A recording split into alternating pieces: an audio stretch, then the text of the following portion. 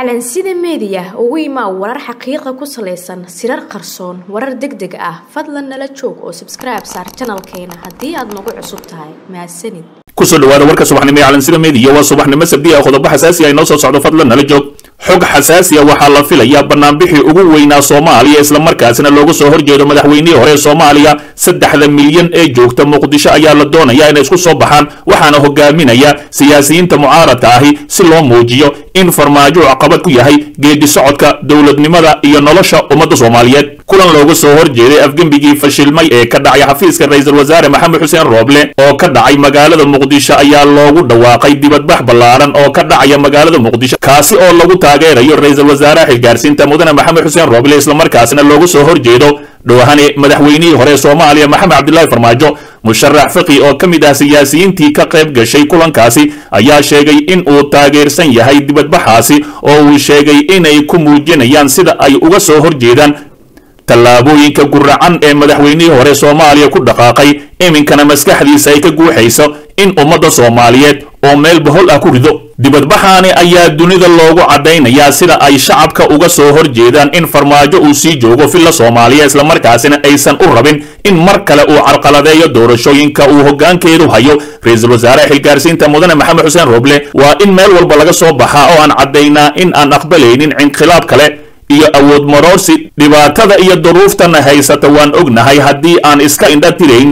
Markan waa in laysku soo baxa ayuu yidhi islamarkaasina shacabka magaalada muqdisho ay muujiyaan awooddooda sidii waddanka suudaan oo kale. Waxaan rabnaa in aan soo saarno hal milyan oo qof oo soo baxaan odayaasha haweenka ganacsatada iyo dhallinyarada oo ay hogaaminayaan siyaasiyiinta. Waxaan rabnaa in wixii hore noo soo maray aysan mar kale noo soo marin ayuu yidhi tan iyo markii lagu dhawaaqay dibadbaxaani waxaa abaabulkiisa uu si weyn uga socdaa magaalada muqdisho waxaana lagu muujinayaa sida ay ummadda soomaaliyeed iyo siyaasiyiintooda uga soo horjeedaan. Madaxweynihii hore dhowhani kelitaliya maxamed cabdilaahi farmaajo ayna u rabaan in uu banneeyo filla soomaaliya. Dhaqdhaqaaqani cusub ayaa qayb ka ah dhaqdhaqaaqyo dhowr ahi oo looga soo horjeedo farmaajo ayada oo dhowaan ra'iisul wasaaraha amray inay ciidamada ka amar qaadan karin cid aan isaga ahayn si looga baaqsado xaalad abuur cusub oo dalka u horseeda amni darro. Farmaajo ayaa labaatan iyo todobadii bishaani isku dayay in uu awood ciidan ku qabsado xafiiska ra'iisul wasaaraha xilgaarsiinta mudane maxamed xuseen rooble kadib markii uu soo kala dhex galay khilaaf xooggan oo ku aadan arrimaha doorashooyinka iyo hogaaminteeda kaasi oo markii dambe guul daraystay. Si kastaba ha ahaatee ciidamada waxaa lagu amray in aysan farmaajo ka amar qaadanin banaanbixii ugu xoogganaa taariikhda ayaa ka dhacaya magaalada muqdisho kaas oo looga soo horjeedo in uu filla soomaaliya sii seexdo. Dhowhane kali taliye maxamed cabdilaahi farmaajo iyo tiimkiisa. Dhinaca kale muxuu rooble xalay kala hadlay saciid dani iyo axmed madoobe. Ra'iisul wasaare maxamed xuseen rooble ayaa xalay la shiray madaxda dowlad goboleedyada puntland iyo jubbaland. Axmed madoobe iyo saciid cabdulaahi dani sida lagu shaaciyey qoraal kooban oo ka soo baxay xafiiska ra'iisul wasaaraha. Rooble ayaa labada madaxweyne kala hadlay qabanqaabada shirka wadatashiga qaran oo dhowaan muqdisho ka furmaya kaasi oo ajandihiisu yahay dardargelinta doorashooyinka dalka kulankan ayaa ku soo aadaya iyadoo afhayeenka xukuumadda maxamed ibraahim macalin uu xalay shaaciyey in madaxweynaha koonfur galbeed cabdicasiis laftagareen uu muqdisho ku soo wajahan yahay isagoo ka qaybgeli doona shirka xilli uu horay u diiday ka qaybgelkiisa isagoo taageero xoog leh u muujiyey madaxweynihii hore ee farmaajo laftagareen markii u diiday kadib beesha caalamka ayaa u hanjabtay islamarkaasina sheegtay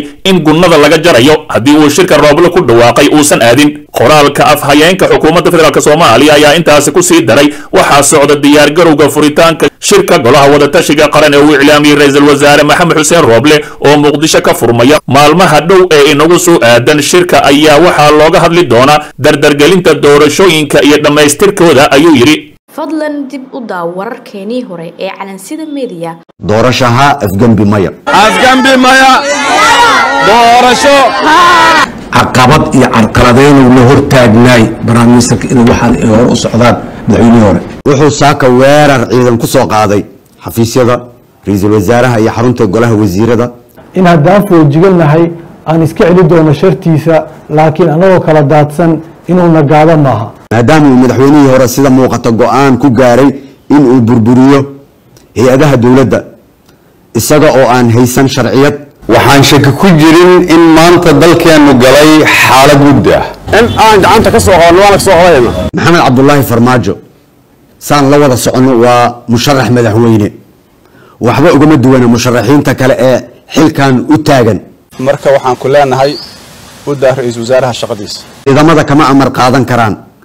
Wax amar ah nama siin karo maadaama uu doonayo inuu hay'adaha iyo awoodaha qaranku uga faa'iidaysto musharaxnimadiisa in villa soomaaliya ay ku howlan tahay in la baajiyo shirka wadatashiga qaran ee loogu lagu ee loo asteeyey ama loo mudeeyey in lagu saxo geedi socodka doorashooyinka. Mar kale cod dheer ayaan ummadda soomaaliyed ugu sheegaynaa waxa maxamed cabdulaahi farmaajo uu ku dhawaaqay xalay waali waaye.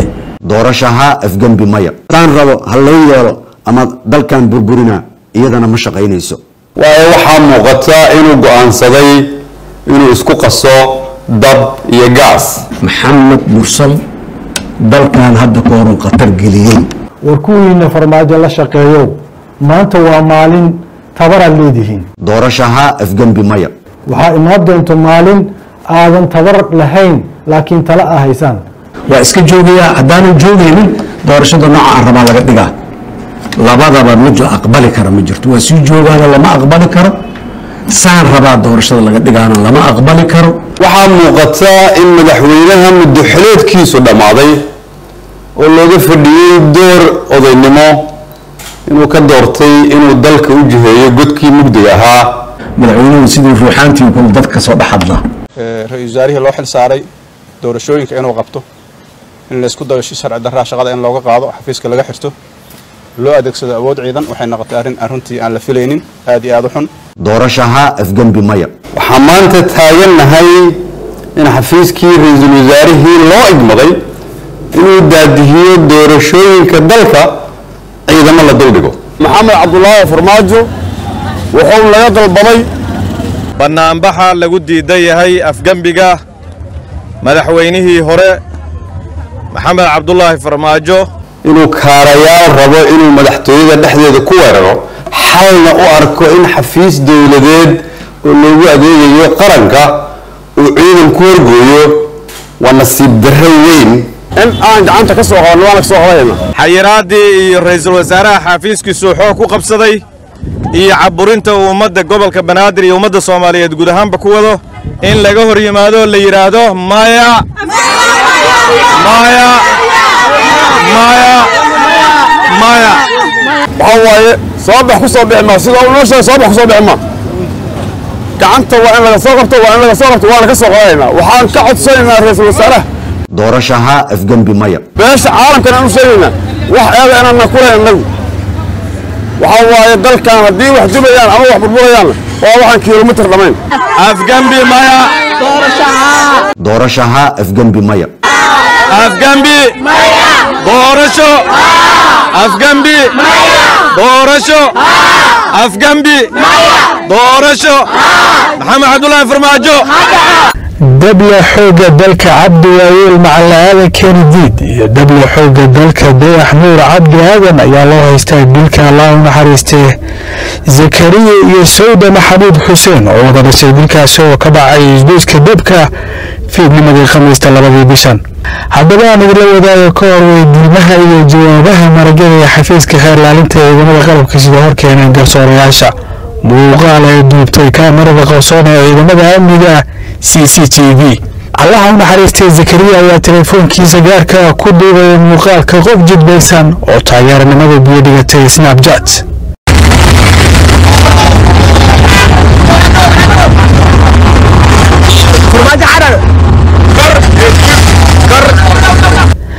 laakiin daqiiqada kadib wax walba way isbedeleen taxadar la'aanta cabdi waayeel ee ka dhalatay kaliya eriyada dadka darteed isagoo isticmaalayo awoodda ay dowladnimada u siisay inuu adeego. Baybaayo sida ka fiirsasha la'aanta leh ee sabab ugu noqday ilinta walaalo iyo waalid mar qura waayay wiil iyo gabar gaaray xilliga ay waxtari lahaayeen. Naftooda waalidkoodii inta kale ma aha keliya in tallaabadiisii xumaad ee ku dhammaatay dilka zakariya iyo sawda waxa uu sidoo kale filatuur iyo rasaas weli ku dhigayaa dad midoonaya iyo gaadiidka kale sida bajaajta xeerlaaliye maxamed cabdulaahi khaliif ayaa la wadaagay maxkamadda ficilada isxigxigay ee ka baxsan habdhaqanka askariga ee ku xusan xeerarkii loo jibiyey asagoo yaqaano qaabkii loo isticmaalo hubka asigoo yaqaano dishibliinkii ciidanka isagoo yaqaano in goobta ay tahay goob dadweyne goob shacabaan loogu talgalin in xabad lagu rido ayuu wuxuu isticmaalay xabadii koowaad oo ku dhacday labada marxuum oo aysan filaynin inuu dili doono. Sidoo kale xabadii labaad ayuu haddana dhankan kale uridayaa weli taagtaagi ayuu ku jiraa wadihii bajaajto aan war u haynin waxa dhacday xilligaas ayay maxkamaddu wax ka weydiisay habeenkaasi ogaalkiisa degmada beriga ka imaanay waxa uu soconay maqaayada laha laag and share meesha waxaan oo qofsaday jaamira galnay fahanta marka anagoo jaamka ku jirno dhagaxa meesha yaalo agaarihiisa iskula sineen fahanta marka xabadaha dhaceen xabadihii markay dhaceen dadki ani aawaday waxaa dareemay gadaasheeda inanka yid nash nash. Markaas mootadii waxay leedahay had dhexa ka fiiriyey wiilkiyaa waayey. Gabadhiin saasay u dhacday fahanta marka marka saasay u dhacday ismarkaas waa qeyliyey kabacdi mootadii wiil igu horeeyey waxay sheegeen in mootada aan wada dhaawac saas darteed alii farwado waa la cararay waxaa isbitaal ku yaalla xaaji baasto. Askari la socday labada eedeysane ee mid taraafika ayaa ka mid ahaa dadka ku xusan liiska maragada ee maxkamadda hor keeneen. Xafiiska xeerlaarinta ciidamada qalabka sida. Dable axmed maxamed cabdiraxmaan oo u jawaabayay dhinacada dacwadda ayaa shaki badani ka muujiyey mid ka mid a xabadihii ay rideen saaxiibadiisa shaqada kala dhexaysay xabadda kolley horta xabadda kolley horta aniga horta uma jeedin laakiin waxoogaa adii shaka ay gelisani daacad nafteyda ahaan. C i d da qaybteeda shaybaarka cilmiyeysanaya forensic lab ayaa iyana ka jawaabaysa haddii ay ka dhaceen xabado qoryaha eedeysanayaasha ay leeyihiin iyo sumadda akhrinteeda sugakaanshiyaha qoriga iyo fooqyadii la helay. Leebka iyo iyo bahalkaas soo tuuraya ejectorka la yidhaahdo iyo extractor bahal la yidhaahdo iyo calaamad kale oo kan la yidhaahdo boltifaceka waxyaabahaasoo dhan calaamadahay ku samaynayaan calaamadahaas marka yacni uu qoriga ku sameeyey iyo calaamadihii kuwii crime siinka laga keenay calaamadaha ku yaalla waa la isu fiirinayaa isbarbardhigaa lagu samaynayaa haddii marka sidaasaa marka waxaan ku helaynaa caddaynta oo buuxda in maaragtay xabaduhu qorigan ka dhacaan gaashaanla muumin xuseen cabdulaahi xeerlaaliye ku-xigeenka ciidamada qalabka sida ayaa weydiistay maxkamadda in loo ciqaabo cabdi waayeel macalaaye kenidiid dilku uu geystay halka dayax muur cabdi aadana lagu xukumo. Ciqaab u dhiganta anshaxa wadamarista iyo nabadgelyada guud ee uu qalqalgeliyey waxaan maxkamadda horkeena caddaymo buuxa oo dhammaystiran oo caddaynaya qodobka afar boqol soddon iyo afar kuwaasoo sugaya dhammaan in uu mas'uul ka yahay dilka labada marxuum si bareerana u dilay una isticmaalay xabad isagoo maraya malaayiin shacaba dhexdooda. Uu xabaddaa isticmaalay waxaan codsanaynaa maxkamaddu in ay eedaysane cabdiwaayeel ku xukunto yacni ciqaabta uu mudan yahay oo ah dil si ay ugu tusaale qaataan. Askarta kale ee mataqaanaa suuragal ay tahay inay shacabka dhexdiisa ku isticmaalaan xabad. Halka eedaysanaa labaadnaan codsanayno eeddaan u soo jeedinay mataqaanaa ah xeerka nabadgelyada guud inay maxkamadda ku ciqaabtaan codsanayna isagana. Abuukaato warsame ayaa isagana u arkan wakiiliinta uu difaacayo inay gudanayeen waajibaad qaran oo ahaa kala fududeynta isu socodka dadweynaha.